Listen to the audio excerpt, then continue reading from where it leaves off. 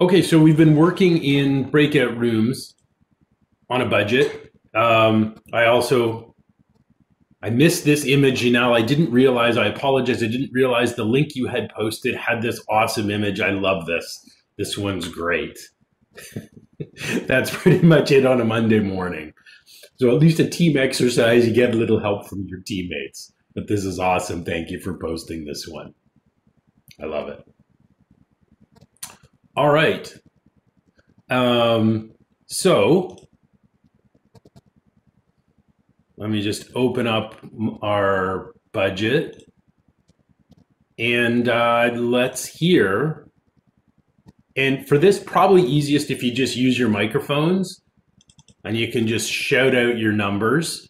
Um, let's actually just maybe talk about your totals. Okay, so um, what did you come up with? So, team one, what did you have for a low and a high total for your project?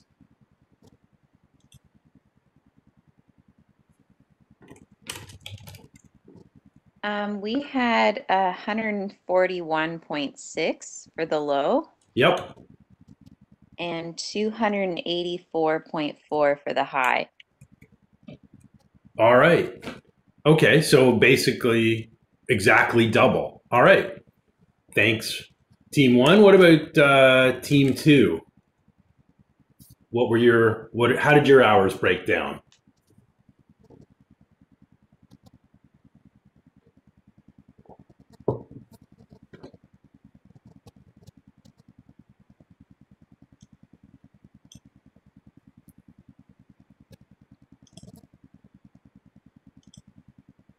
So Rudia and Camilo, what um, Oh, I, I'm sorry. I'm sorry. I didn't.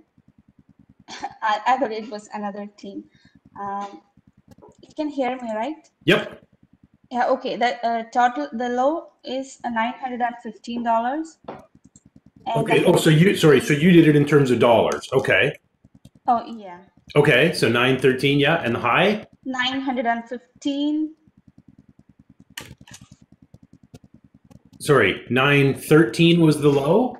Nine hundred and fifteen. One five. Oh, 915 was the low. Okay. And what about the high? Yeah. One thousand two hundred and forty-five. Okay. Thank you. Yes. Okay. Team three wasn't here today. How about team four?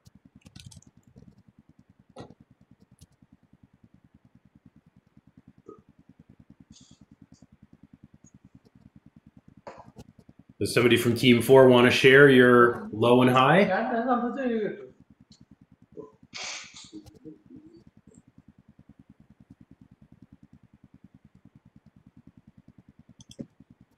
So Ivan, Maggie, Rebecca, Emily, what did your budget work out to be?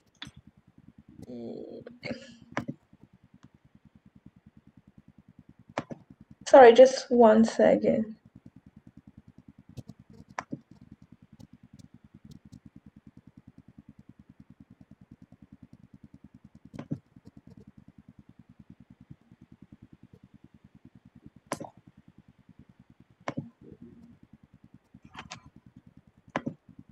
Okay, I'll give you another minute. We'll come back to you. What about team five? What were your ranges for the real estate site budget? So we did it in the hours, not. Okay, that's fine.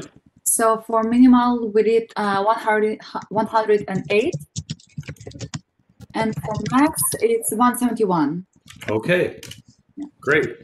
Thanks. Okay, and Emily, uh, let us know what your team came up with. Yeah, so for um for the hours it's 63 and as, as a low and as a high is 112. In terms of dollar for the low is 1575 and for the high is 2800. Okay. All right, thank you. All right, so let's have a look. 1245. So here we've got um,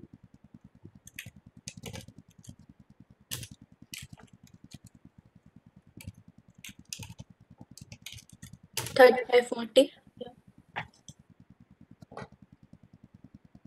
And here we've got, let's see, B twenty two times 25.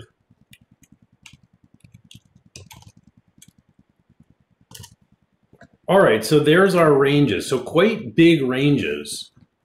So on the low end, $900 to build this site. And then on our highest end, about $7,000 to build this site. So that's a pretty big range. Um, okay, so let's see. I would suggest, if I think about what this actually cost when I did this, um, yeah, it is. Maybe you can post it in Wall Street Bets, Hung. Um, this was probably the most accurate in terms of when I actually built the site like this. This was probably the right range, about 150, 160 hours. So basically, sort of like two full work weeks, nonstop, like eight hour days, five days a week. Sorry, uh, about four work weeks. So I think I charged, now I charged more than $25 an hour when I did this. I think it charged $65 an hour. So the total was somewhere in the neighborhood of about 7,000 at that rate. But this was probably the uh, about an accurate amount of what it actually took. Somewhere in the neighborhood 160 hours.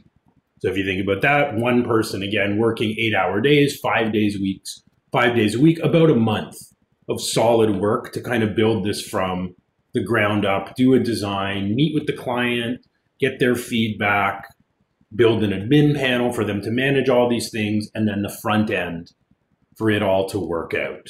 Um, I'd suggest this budget here, this this is probably a bit low. Realistically, if you think about it, could you build this all in in two kind of two calendar weeks, start to finish, and be ready to launch?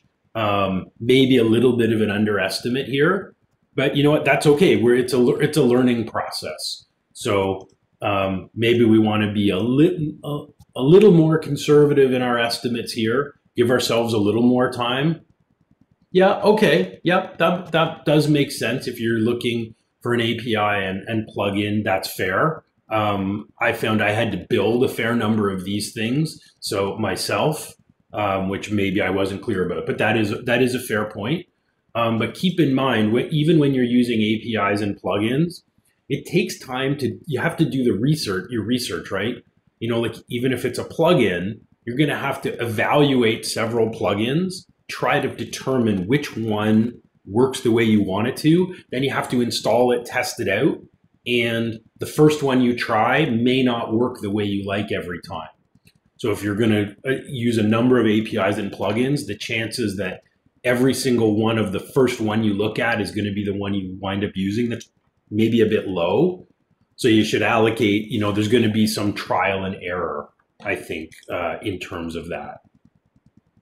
Okay. So I would hope this exercise kind of helps you come up with your budget for assignment one. So again, just a reminder in assignment one, I want every one of you to do this individually and submit your own Excel file with the hours, the low and high, and then your final budget is just going to look like the sample I showed you last week. Um, Um, I have a question. Do you want any comments with it as well? uh, Like, for it- example, um, sometimes we might think something is good for, uh, for example, I'll take this example, like we were talking in terms of API and plugin, but we didn't like take into consideration that we need to test several plugins. So, um, shall we like put some comments and then if something is wrong, like you can like be like, okay, this is not good, this is good, like You know what, Emily? That's a great question. It's not at all required, but that's actually a really good idea. I wouldn't put it in the final budget like that your client sees, but in your rough draft, like your individual Excel file, absolutely you could make some notes that explains your thinking. Not a requirement at all, but absolutely you can do that for sure. Great question. So I mean, this is still the the the the, the method that I use. Twenty years later, if I have a new project, I use Excel, I break it down into the individual features. I do a low and a high estimate in terms of hours. And then I typically go about 60% of the way rather than right in the middle, an exact average in the middle. I give myself a little buffer and I go about 60 or 65% of my high. And then I simply multiply it by my hourly rate and come up with this kind of itemized budget. Is a simple way of doing it. And then the client knows exactly what they're paying for. And like we talked about last week, we have room to negotiate down the scope of the project if we need to by leaving things out. Um, okay. So we've talked about budgeting. I would hope that your team has what you need. I guess I should ask rather than me assuming. Do you feel you have what you need in order to do the budget piece of assignment one, which is due at the start of class next week?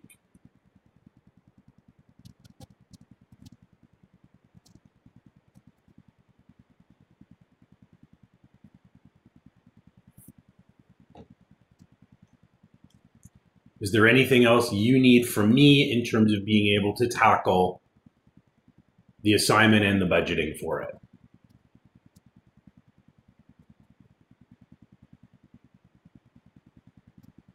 A simple yes or no in the chat would be awesome. Okay, great, thank you. okay, um,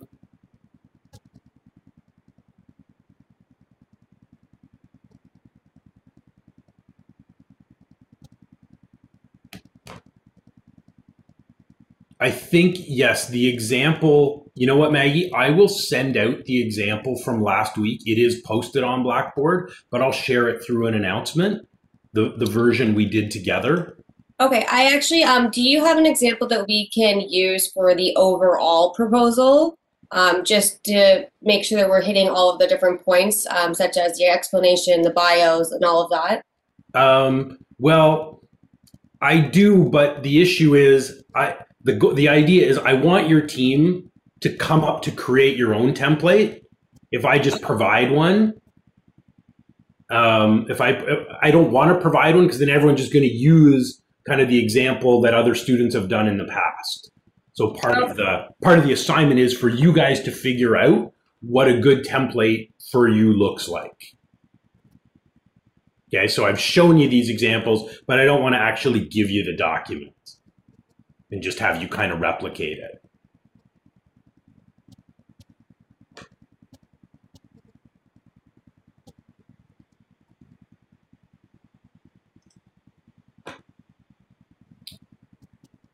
Okay.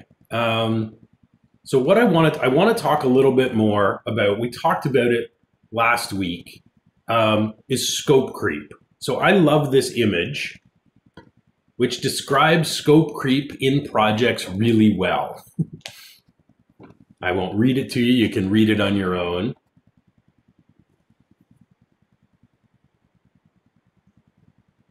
But this is what happens all the time, right? What clients tell us isn't necessarily what they really want. and then what our designer does doesn't always match what our developers do and it certainly often doesn't result in what the client wants and often you know we, try to mitigate against this yeah absolutely and this is part of the reason why i think our program is valuable particularly for people who are going to go on to be designers you know if you're only a graphic designer but you have no training in actual programming or development it's often hard to reconcile you know your design with the practicalities of being a developer so even those of you who are here in the class, if you go on and all you ever do is design, the fact that you're learning the development skills means you're going to understand the considerations and limitations of the development team that you're working with around what's possible, what affects performance. It's not only how things look, right? But it's are they functional and do they perform well? So scope creep is a common issue and it also depends a lot on who our client is right? Because some clients only have a really big picture, they're big picture thinkers, and their attitude is, well, I'm paying my web team to go ahead and take my vision and and the you know the, the IT professionals you figure it out. Then you have other clients who are micromanagers who have envisioned right down to the very last detail how they want their site to look and how they want it to function. Okay. Um, so a big challenge, and we'll talk more about this in dealing with clients, is learning what type of client are you dealing with. But this affects scope creep. So um, now you guys don't have access to Blackboard, so here's what we're going to do. Um, I'm going to post a bunch of links in the chat. Actually, I'll put them up on Pastebin. That's probably going to be easier. And I will put the Pastebin link in the chat. And I'll give you your instructions.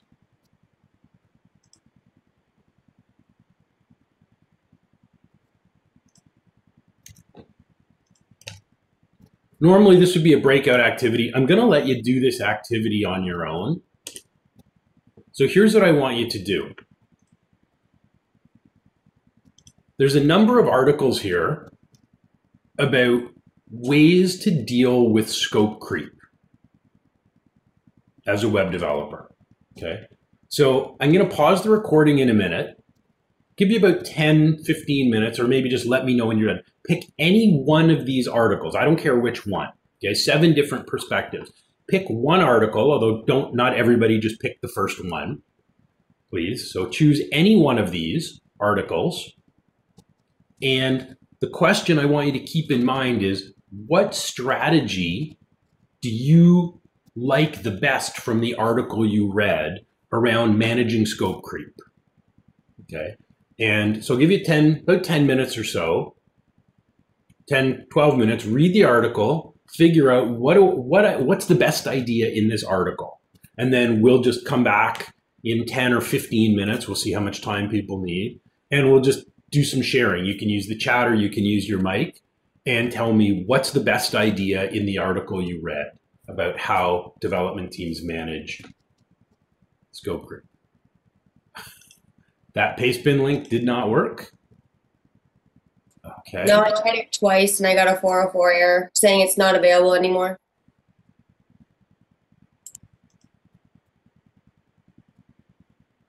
Interesting. Okay, I will post the links right in the chat. That's very weird because it shows up for me. So I've put the links in the chat as well. So there's six articles. Pick any one of them. Have a read. Tell me what the best idea in there is.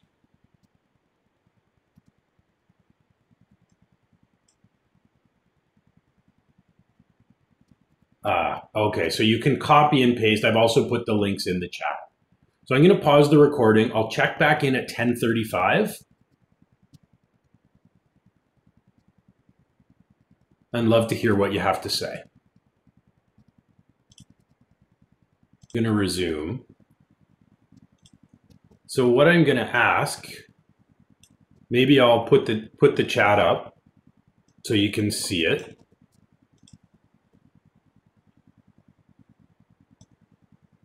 Going to make the chat window bigger. So maybe I'll just sort of start at the top and I can ask if just for a minute, if you can kind of expand a bit on your on your comment. So what did you like about this? And we can talk about it. So maybe Emily, I'll let you go first because you had the first one in the chat. So can you expand a bit? What did you like about this?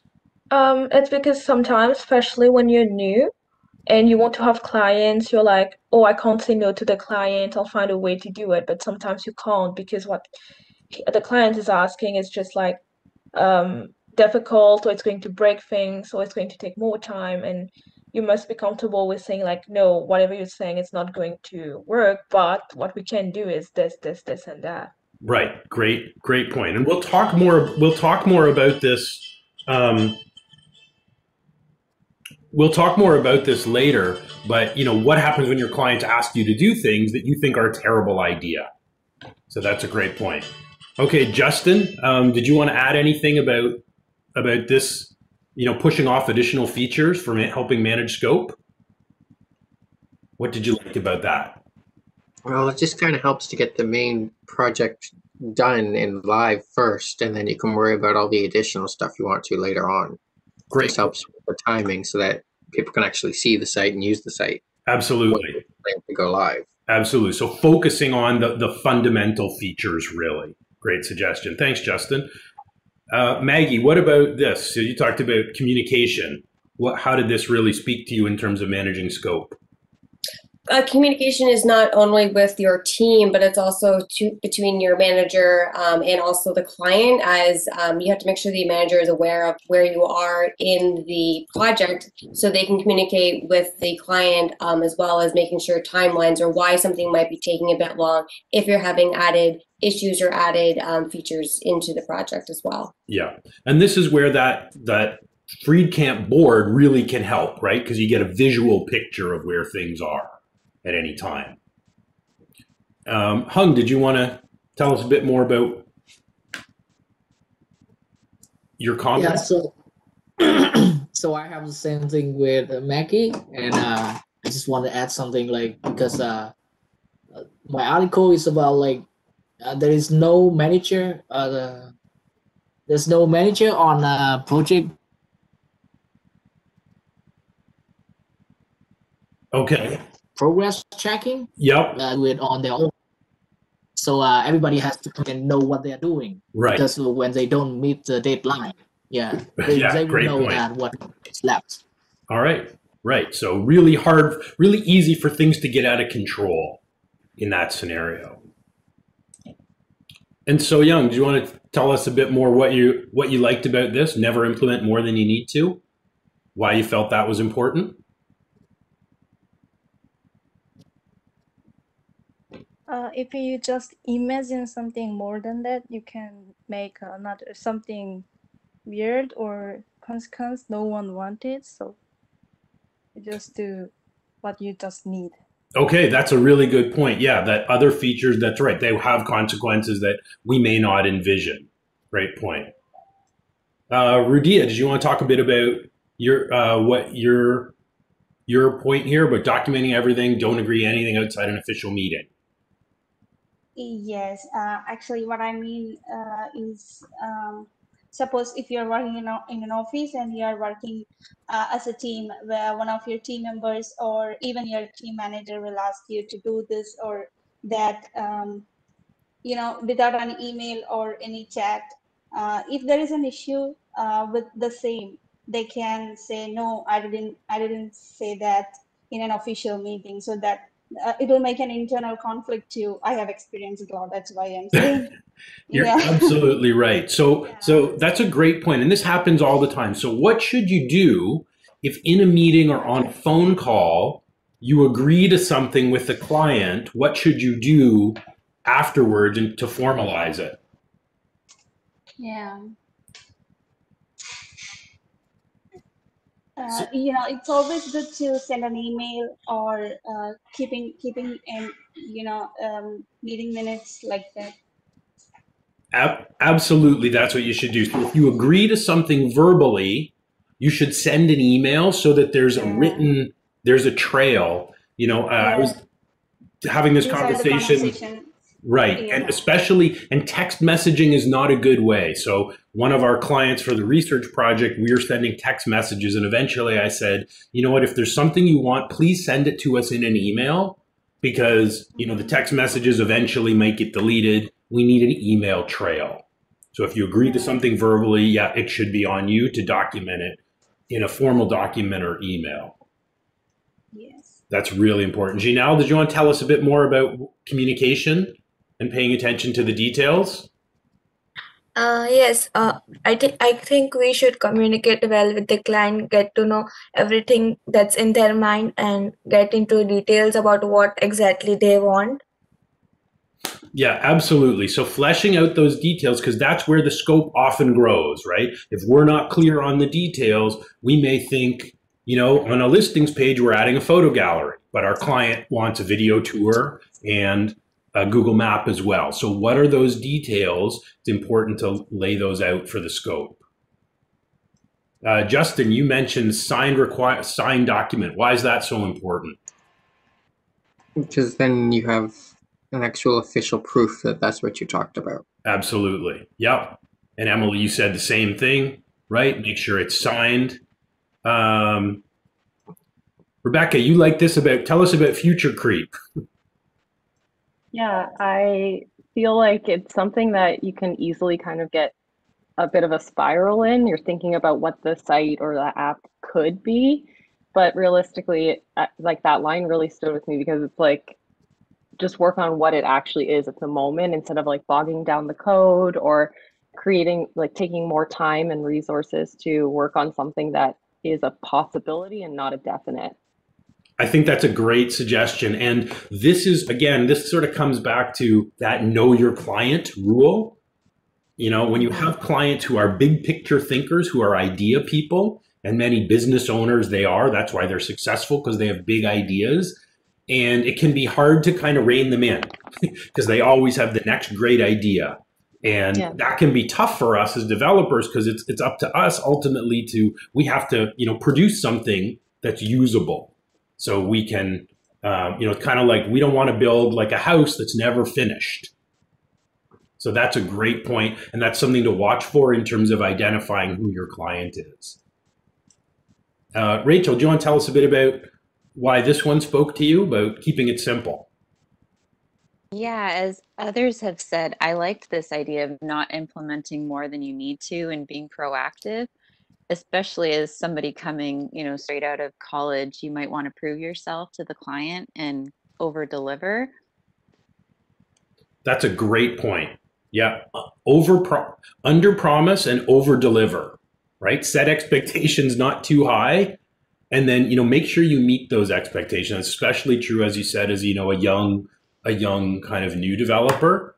Um, and part of the way that I kind of like to couch this to my customers is if I sell you a project, I'm not just selling you this work for this contract, but I'm looking at, you know, a, a long-term relationship is how I put it.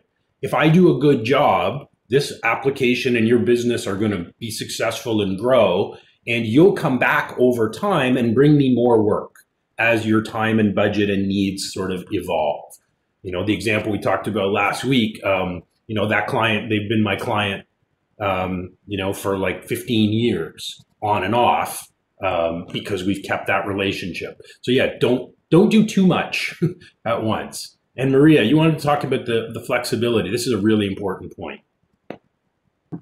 So yeah, the, uh, sorry about the flexibility design. Uh, it's uh, great to put attention in the even in the beginning of the development, every like feature and even design and everything because uh, when you're in the final stage and clients want just to change maybe name of the button or name of the column, that it will not be the problem uh, to really change it.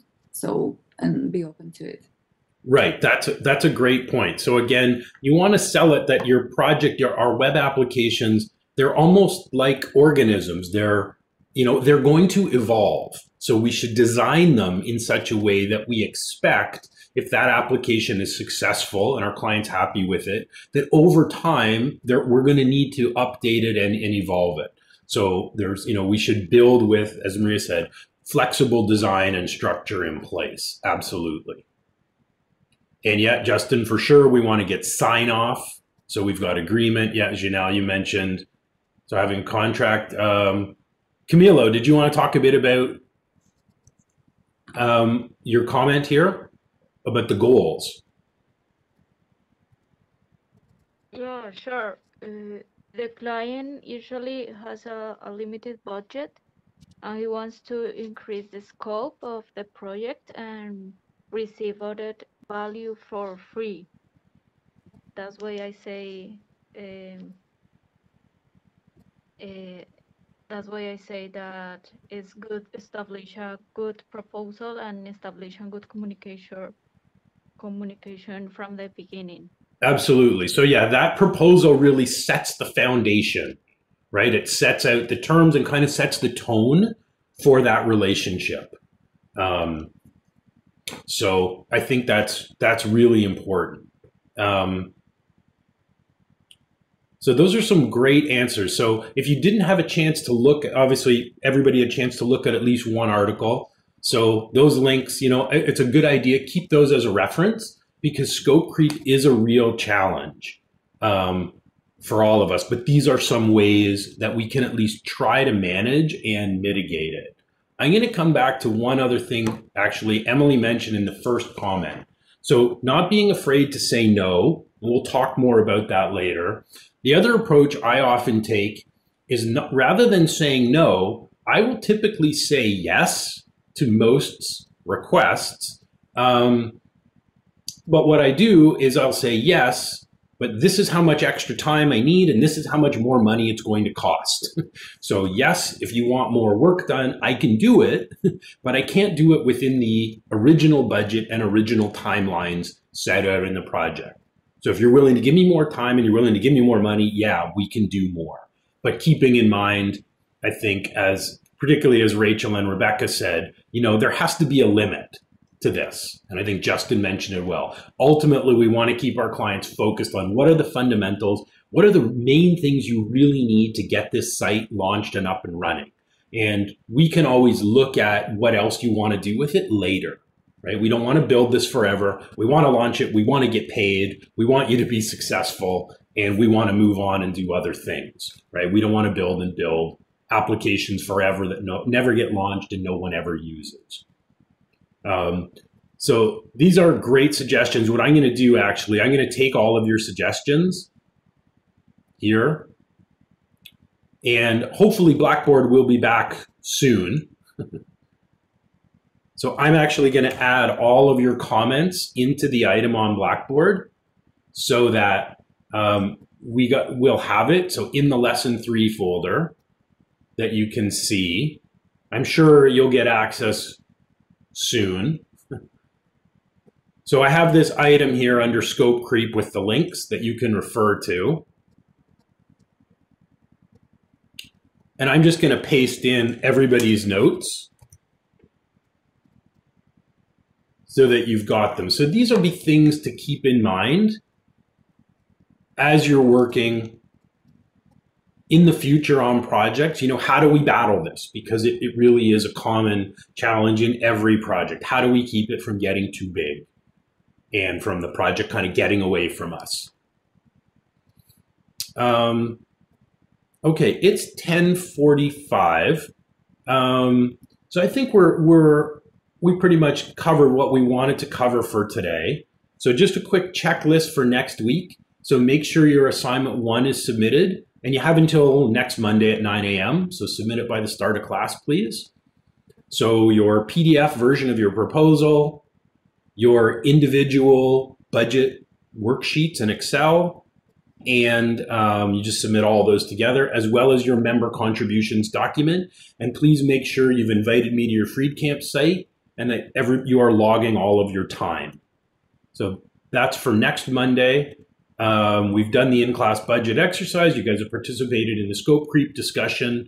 Uh, we didn't get to this today. That's okay. We'll we'll look at project methodologies next week, um, and I will give you assignment two. You'll have two more weeks for that. And again, make sure you're logging all of your time. Okay. Uh, any comments or questions from anybody before we? Yep, just one submission per team, Maggie. Yes. Great question. And you can just upload the indiv- all the individual files um, along in that one submission. Yes, Emily, happy to uh, have a chat. Okay, everybody. Um, thanks for sticking with me on this cold, sunny Monday. Hope the caffeine's kicking in for you. Hope your class at noon is good. I will see most of you on Thursday.